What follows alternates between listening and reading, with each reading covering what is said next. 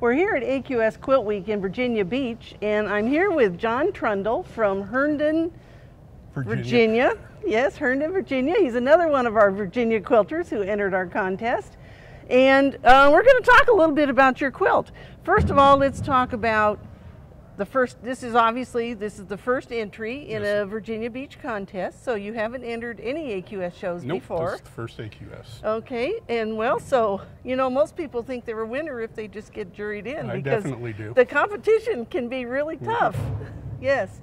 And uh, so let's talk about your quilt because you said this was your son, a mm -hmm. from a picture of your son. Yes.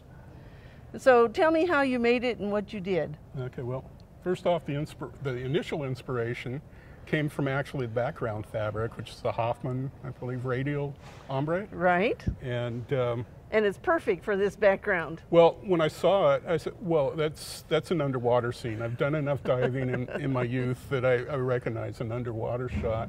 And it took me two seconds to decide I wanted to do something with it. And then, said, wait a minute, I've got a shot of my son diving off of Oahu and uh, probably 50 feet down free diving and uh, pulled out the photo and looked at it. Oh, double hookah. Oh, you, perfect, right? no, shaka, actually. It's called a shaka. And I said, well, you know, shaka means everything's okay. Hang loose, everything's mm -hmm. fine. I said, mm -hmm. well, maybe everything isn't quite so fine, and he doesn't know it. Hence Bruce.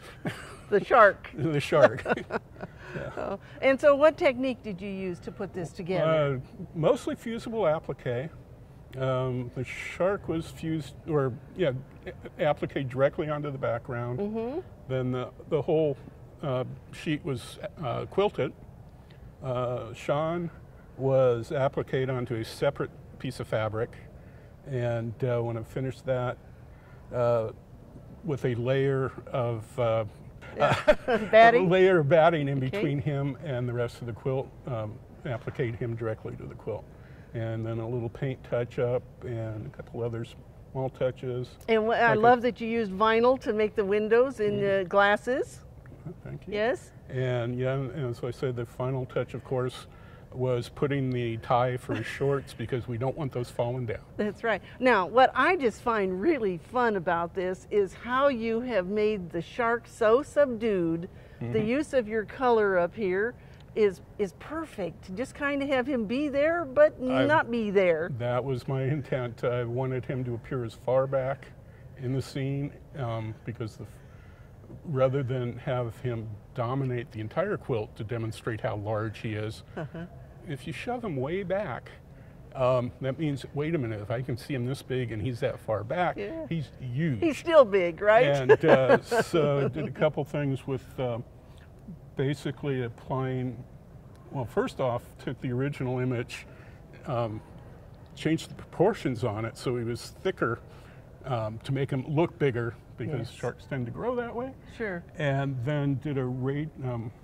a yeah, gradual or gradient. Yeah, the gradation across gradation across colors. them to make them darker. Yes. And then actually, um, when was still in the in the planning stages, took an image of this background and also in, uh, applied it on top of the original gradation, so it took on some of that more modeled effect, and then did all the app, you know, the, the fusing and application. Now this begs to ask the question: Has he ever been diving and seen a shark?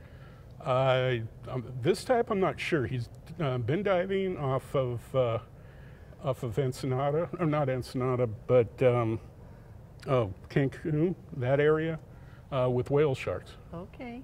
A different, different. animal entirely. Sure. Well, the biggest biggest living creature, and but they're docile. Well, it's a fun quilt, and thank you so much for thank entering you. it in our contest here. And who knows, you know, sometimes there are people who enter for the first time and they win, and so maybe next time you'll be lucky. Maybe. Yes. so. And so we hope that you'll enter your quilts in the AQS Quilt Contest. Go to quiltweek.com and just click on the contest button for the 2019 rules.